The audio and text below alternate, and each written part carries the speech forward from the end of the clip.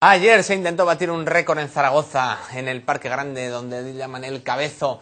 Una empresa de Madrid quería juntar a mujeres llamadas Pilar para batir el récord, el récord Guinness de gente junta con el mismo nombre que lo ostentaban los Mohameds de Dubái, con un total de 1096 Mohameds. Juntaron pilares, pero ¿qué pasó al final?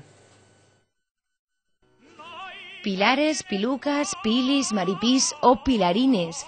484 mujeres llamadas así se reunieron ayer en Zaragoza con el único objetivo de batir un récord Guinness, juntar en el mismo lugar al mayor número posible de pilares.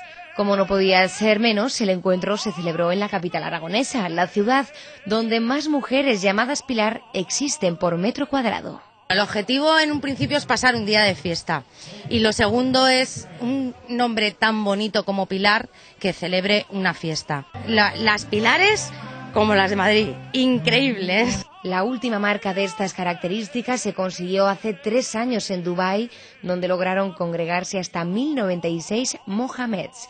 Finalmente no ha sido posible batir este récord, aunque el encuentro ya se ha convertido en la mayor concentración de personas llamadas Pilar que ha tenido lugar en España.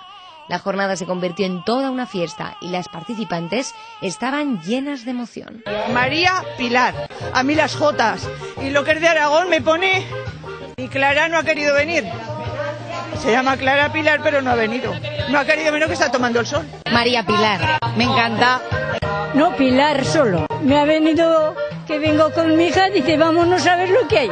Hasta Zaragoza llegaron personas de toda España, incluso una Pilar Canaria. Pero no solo mujeres. Entre los participantes también se encontraba un hombre llamado Carlos Antonio María del Pilar.